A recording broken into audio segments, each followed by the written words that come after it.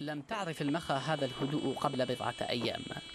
قوات الشرعية وعلى مدار أسبوع كامل حشدت معظم قواتها العسكرية لتفرض طوقا محكما على المدينة ما أدى إلى سقوطها من يد الانقلابيين على نحو دراماتيكي.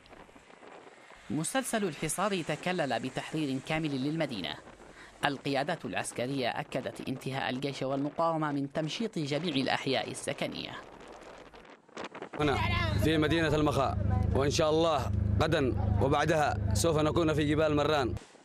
ميناء المدينة التاريخي يقف اليوم شاهدا على حجم الهزيمة الإنقلابية. رصيفه المزروع بالألغام يعكس طبيعة الحقد الحوثي على كل مؤسسات الدولة. وفي مقابل ذلك يعمد الجيش والمقاومة إلى ترسيخ حضورهما في المدينة المحررة كي تكون قاعدة انطلاق باتجاه الحديدة. الآن في مدينة المخاء وقادمون بإذن الله لتحرير الشريط الساحلي بإذن الله كاملا وقادمون إلى الحديدة. ونحن أبناء و... و... ومعنا بإذن الله رجال المخاء يساندون جنبا إلى جنب قلبا وغالبا.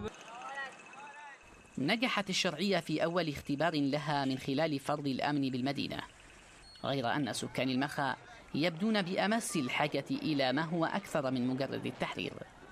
آلاف الفقراء يتطلعون هنا إلى حقبة جديدة تنسيهم معاناة الجوع والبؤس الذي فرض عليهم طيلة عقود.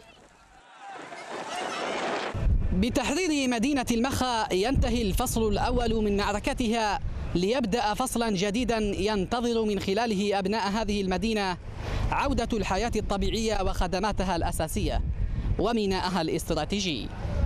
سامح عبد الوهاب لقناة بلقيس.